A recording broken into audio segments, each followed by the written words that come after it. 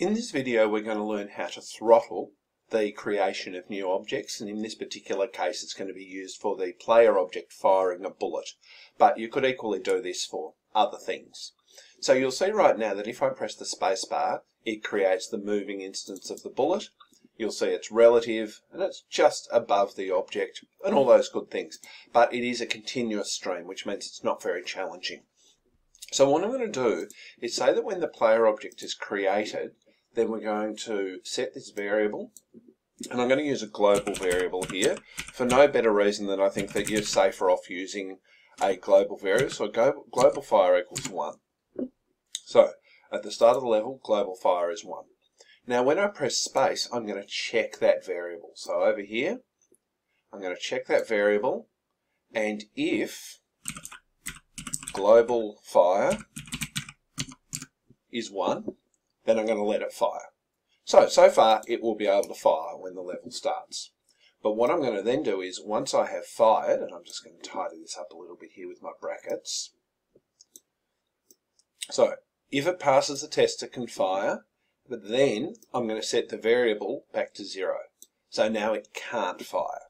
So, global dot fire is going to equal zero.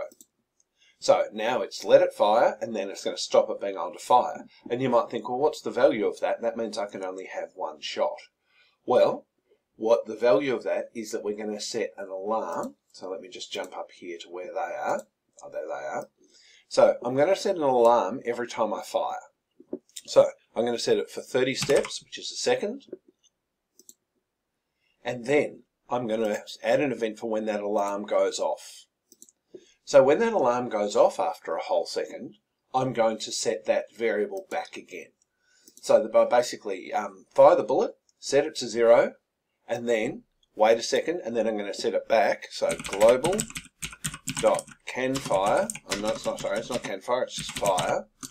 Is going to equal one now. So it'll equal one a second after I've fired.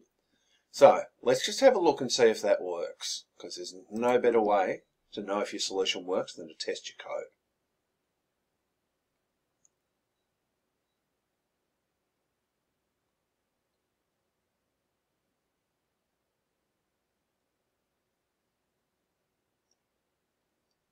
Okay, so I fired, can't fire. Yep. So I'm pretty much, as you can hear, trying to fire constantly, but it's only letting me fire there. And if you wanted, you could even build in a condition that if it couldn't fire, it could make a sound so that you'd know that it wasn't just that it wasn't working, that it was a misfire because it wasn't ready. You could put that in your conditional there. So you could put an else at the end. Um, but for now, that will certainly do the job.